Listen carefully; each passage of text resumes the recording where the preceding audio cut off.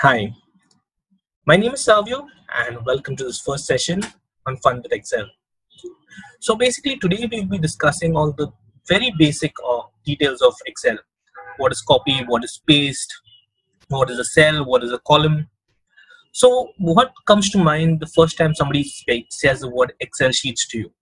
But obviously it says Excel formulas. But Excel is just not only just formulas, it's a lot, lot more than that formulas is a part of excel which makes your life a lot more simpler. But knowing the basics of excel is what leads to learning the formulas and making life more easy. So let's just get into our worksheet and uh, see what we'll be discussing today and uh, how we can go ahead with this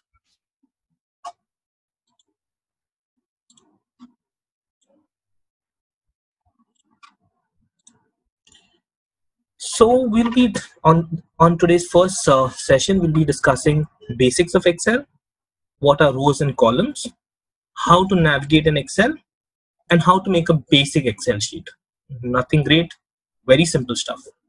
So let me just go to our first tab over here, and here you see a little data. It has company name, order number, invoice number, amount so this is what an Excel sheet is. This is how it has, an Excel sheet has basically two things. This is known as a row. So it's one, two, three, row three, row four, row five, row six. And these are known as columns. So this is what Excel is all about. Excel is all about rows and columns. Now, how rows and columns make your life interesting, it what is what comes next. Now, you can make a Excel sheet for basically any data. For example, if you want to put down your names of friends, so you'll put your names of your friend, their their birth dates, their age, their telephone number. So this is how you can just jot them down. What Excel so what Excel does for you over here is just puts lets you arrange your data in a very systematic way, use a lot of color, use a lot of data in into it. So basic, this is just the basics of it. So what you can see in the sheet is I've put in the numbers. If you go down, you can scroll, keep scrolling uh, per, per cell. And if you see at the end, there's a total.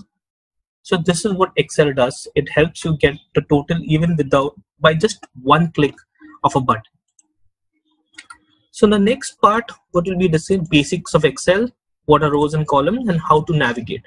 So these things which you see over here are your tabs. So basically you can make multiple sheets on one excel. You can make multiple tabs. So just to uh, just to show you this is a plus sign over here which says a new sheet. So when you click on that you get a new excel sheet in the same excel so this helps when you have to collate a lot of data, you have to, you can interlink data. So just to summarize on today's de details, so let me just show you how the, the basic Excel sheet looks. So again, coming back to this is a row, row one, row two, row three, row four. These are columns. And this is how you can enter your data one below the other.